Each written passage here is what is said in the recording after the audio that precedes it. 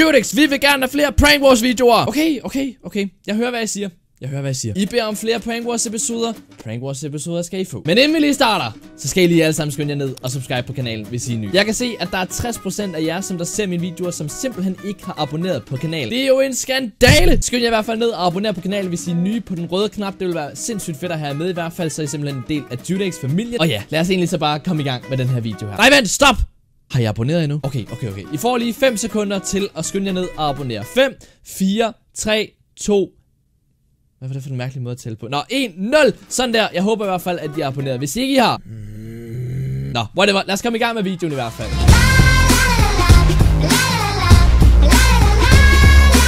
Hvad så sammen, og hjertelig velkommen til endnu en ny video inde på Prank Wars serveren. I dag så er det simpelthen, øh, jeg kan ikke huske hvilken episode det er. Vi er rimelig højt op i den her serie her. Jeg tror vi er over 60 eller sådan noget nu. Det kan godt være det her er episode 60. Det kunne være lidt nøjere. Men i hvert fald, så inden vi lige starter på den her episode her, så kommer dagens subscriber, som altid lige op på skærmen her. Hvis man godt selv kunne tænke sig at blive dagens subscriber, så kan man bare lige skynde sig ned på den røde knap og abonnere. Og øh, så tryk på klokken lige bagefter. Så skynd dig at gøre det, hvis du er ny. Det vil være super fedt at have dig med i hvert fald. Og øh, skal vi så ikke lige se, om den her video her, den kan ramme 1500 likes. Det vil være sindssygt fedt i hvert fald. Hvis du ikke har liket videoen endnu allerede, så skynd dig lige ned og smid et kæmpe like. Det vil være super fedt i hvert fald, så jeg bliver mega, mega glad. Og øh, det vi skal i dag, drenge og piger, det er simpelthen, at vi skal pranke, øh, vi skal pranke alle ind på serveren faktisk. Vi skal pranke både Festab, vi skal pranke Mr. Spyplan, og vi skal pranke øh, MCG Pro. Så øh, det vi skal lave, det er simpelthen fordi, jeg har sådan lidt tænkt, at folk de er begyndt at slække lidt herinde. Folk de er begyndt ikke rigtig at lave så meget, pranker ikke rigtig så meget mere. Jeg har i hvert fald ikke rigtig oplevet så mange pranks på det sidste. Altså jeg har oplevet en Ender Dragon prank og MC Kid Bros prank på mig.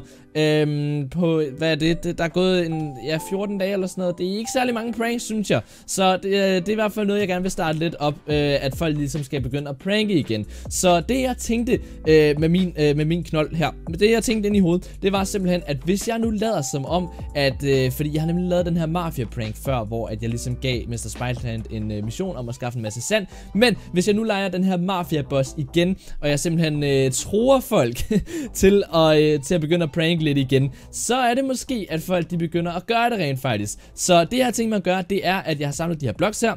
Vi laver simpelthen øh, nogle kister, øh, vi har nogle skilte, jeg tror vi skal have nogle bøger også og sådan lidt. Øh, jeg ved faktisk ikke om vi bare skal sætte øh, skilte i stedet for, men vi kan give dem en, øh, en kiste med nogle godter. Øh, jeg tænker at vi kan give dem nogle diamonds og sådan lidt. Fordi det vi så skriver på skiltene, det er at vi udfordrer dem alle sammen, fordi det er jo noget som vi laver på dem alle sammen. Vi udfordrer dem simpelthen til at pranke øh, eller mindst lave tre pranks på de næste 10 dage. Så der går 10 dage. Hvis de ikke har lavet tre pranks, så, øh, så er de simpelthen failet. Men hvis de simpelthen klarer den her udfordring her, så får de endnu flere diamonds. Så det vi gør, det er, at vi giver dem for eksempel 5 diamonds til at starte med. Og så siger vi, hvis I klarer den her udfordring her, så får I 20 diamonds eller sådan noget, for eksempel. Fordi jeg har masser af diamonds, altså jeg kan ikke bare give ud alt det her. Jeg har, prøv at se, hvor mange diamonds jeg har. Altså, jeg kan sagtens give 20 ud. Det er bare lige sådan her. Bum, så er der simpelthen givet ud til dem alle sammen, cirka. Øh, så det er i hvert fald, øh, nu skal jeg have craftet det om igen. Der er et crafting table her. Bum, sådan der. Øh, det er i hvert fald min plan. Så det vi gør, det er, at vi går over, så laver vi sådan nogle her øh, spots, hvor der ligesom står nogle skilte. Og så siger vi simpelthen, at øh, hvis de klarer den her udfordring her med, at de kan lave tre pranks på 10 dage øh, til vilkårlige spillere inden på serveren, det kan både, altså det kan også være på mig, de pranker.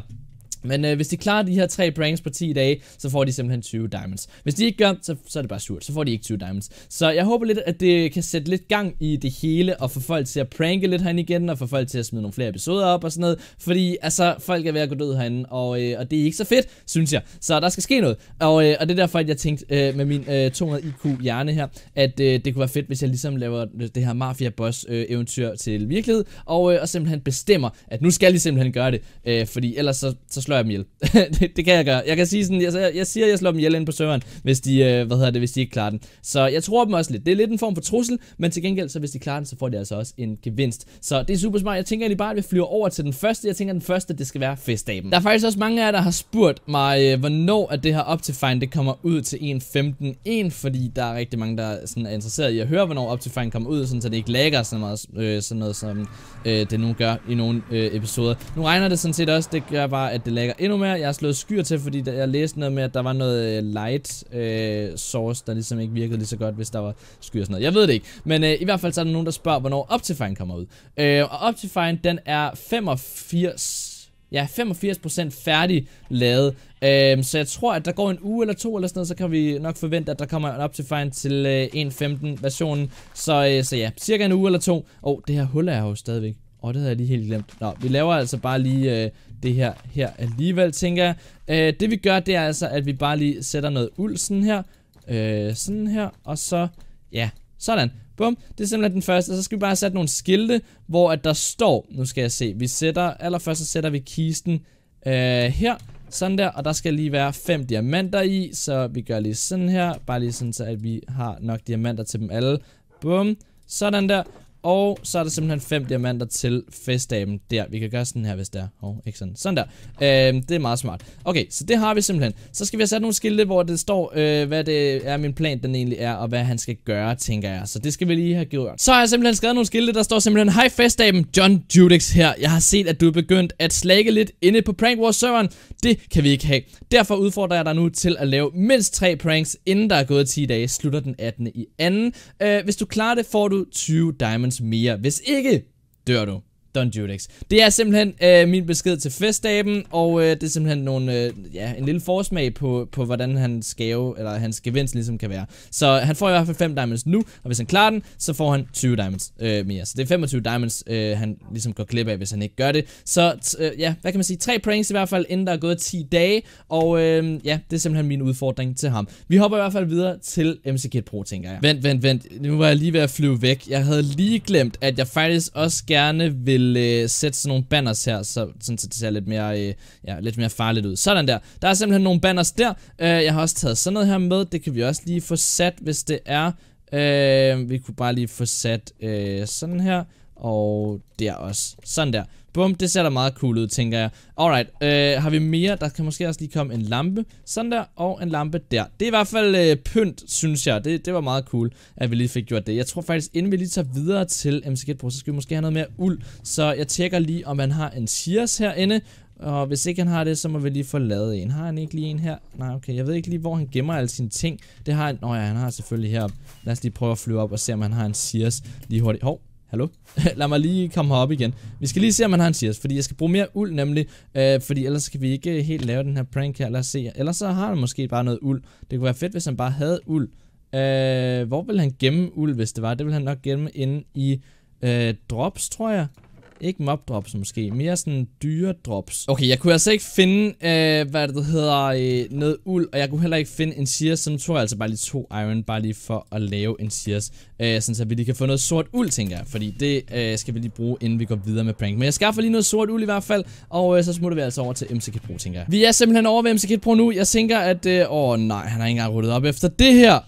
Really? Jamen, så bliver det jo svært at udfordre ham. Men jeg håber, at han ser det alligevel. Jeg sætter det altså... Øh... Hvor i verden skal jeg sætte det? Han er, altså, jeg er ret sikker på, at det er Mr. Spyplan, der har sprunget hele vejen rundt om her. Jeg tænker, at måske vi kan sætte det her. Kan vi ikke gøre det? Hvis vi nu lige sætter... Hov.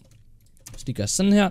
Øh, og bare lige fylder bare lidt ud her måske. Så kan vi, hvis vi gør øh, sådan her, så kan vi lige hurtigt få det clearet bare lidt. Sådan her. Det, det ser ud til at være fin nok størrelse det her.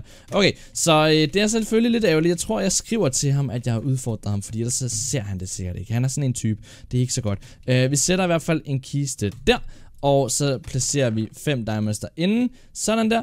Og så skal vi lige have pyntet lidt. Hov, ikke sådan der. Vi skal lige have pyntet lidt, så vi sætter et banner der, et banner der. Vi gør sådan her. Øh, ikke den der, den gider jeg ikke have. Øh, så den der kommer, og nu skal jeg lige se, hvordan skal vi gøre det her? Vi gør det der. Ja, sådan her. Det, øh, det må være fint, tænker jeg. Måske skal vi gøre sådan her i stedet for. Ja, og så, nej, vent, der skal stå skilte her. Ah, vent, det kan vi ikke. Der skal stå skilte lige der. Så hvis vi skal lave noget, så skulle det være sådan der. Og så skulle det her også lige hurtigt laves om til uld lige hurtigt. Sådan der. Og vi har selvfølgelig... Hov, hvad sker der nu? Er det en heks, jeg kan høre? Ah, hallo? Forsvind! Du skal ikke være her! Væk med dig! Sådan der. Okay, den døde der. Åh, oh, vi fik en potion. Grineren. Nå, i hvert fald, så har vi... Øh, vi skal lige hurtigt have sat noget sådan der. Og så skal vi have sat det her jord her, fordi ellers så ser det dumt ud. Øh, jeg vil bare lige hjælpe ham bare en lille smule med det her. Det er lidt synd, at det hele det er gået sådan i stykker. Øh, men det er selvfølgelig masser af spyplant, der har gjort det. Sådan der. Der er ikke så meget at gøre ved det. Men øh, ja, det, det er sådan, det ser ud. Hov, Øhm, I hvert fald, så skal vi have sat nogle skilte, tænker jeg. Og øh, vi skal også lige have sat noget lys, bare lige fordi, at det er cool. Sådan der, og sådan der. og så skal vi have sat øh, nogle skilte. Så det, øh, det gør jeg nu. Så har jeg simpelthen skrevet fem skilte, der står simpelthen, hej om skidtbro, jeg udfordrer dig hermed til at lave tre pranks på serveren, inden der er gået 10 dage, slutter den 18 i anden. Hvis ikke du klarer udfordringen, bliver det værst for dig selv. Hvis du dermed klarer den, får du 20 diamonds mere. Disse fem diamonds er blot en forsmag. Done. Judex. Så der er simpelthen fem diamonds, det er beskeden til ham, det er udfordringen, og hvornår den slutter, hvor lang tid han har osv., og hvad der sker, hvis han ikke klarer den, og hvad der sker, hvis han klarer den. Så det er simpelthen beskeden til ham, og jeg håber, at han ser den. Jeg skriver lige til ham på Facebook, ellers så ser han det sikkert ikke. Men øh, i hvert fald så tænker jeg, at øh, vi hopper videre til Mester Spyplan. Vi er på vej over til Mester Spyplan. Jeg er ret sikker på, at hans base ligger. Yes, den ligger lige her. Perfekt. Så laver vi simpelthen, øh, nu skal vi se, vi gør simpelthen sådan, at vi stiller det lige her, hvor den gamle statue var. Jeg ved, at han lige har fjernet den i hvert fald. Så, øh, så nu fjerner vi simpelthen det her græs lige, og øh, så sætter vi simpelthen noget uld. Jeg kan se, at der er en ghost block her. Hvor er den? Der var den. Bum. Øh, I hvert fald så sætter vi simpelthen det her her, og hvad har jeg gjort her? Sådan der der, der, der, der, der, og så, ja, sådan her, tror jeg. Det må være øh, fint, det her i hvert fald. Så skal vi have sat noget pynt, og nogle, øh, eller vi skal have sat en kiste, nogle øh, banners og sådan lidt. Så kisten kommer der, bannersne kommer der og der, og så skal vi have sat øh, det her, bare lige fordi, at det, det er meget cool at have. Sådan her, og så sætter vi den der, og en der. Sådan der, så skal vi bare have sat nogle skilte. Det er det simpelthen min besked til Spy. Jeg har skrevet, Hej Spy, Don Judex er tilbage. Jeg udfordrer dig til at lave tre pranks, inden der er gået 10 dage, slutter den 18 i, øh, i anden. Hvis ikke du fuldfører din mission, bliver det værst for dig selv. Host, host, du er færdig. Hvis du klarer det, modtager du 20 diamonds mere. Held og lykke. Håber ikke, at det skuffer mig. Øh, og så er det J, fordi jeg kan ikke skrive mere. Men øh, det er simpelthen min besked til Spyplant, og øh, det er simpelthen den prank, som jeg laver. Jeg laver simpelthen en mission til dem alle sammen, og de får nogle diamonds, og hvis de klarer den, så dør de. Øh, det, det bliver værst for dem selv i hvert fald. Men øh, jeg håber simpelthen, at øh, de fuldfører missionen, og jeg glæder mig til en masse pranks for alle de andre medlemmer i hvert fald de næste 10 dage. Jeg må heller lige skrive det til dem, fordi at de, øh, de skal nok lige have det at vide, tænker jeg. Det er måske meget godt. Det er lidt synd, hvis de logger ind lige hvor der er to dage tilbage eller sådan noget, så kan de ikke nå det. Så de skal selvfølgelig vide det. Jeg skriver det i hvert fald til dem, at der er noget, der venter på dem, og de skal skynde sig ind og se det, Øh, og at de måske skulle optage det. Jeg ved det ikke. Øh, men i hvert fald, så var det simpelthen alt for den her video. Jeg håber, I har nydt den. Hvis I har, så smid gerne et kæmpe like på videoen. Det gør super fedt. Og hvis I er nye på kanalen, så skynd jer lige ned og abonner, så I ikke glip af nogle videoer i fremtiden. Og så håber jeg bare, at vi ses igen i næste video, eller på næste livestream. Hej hej!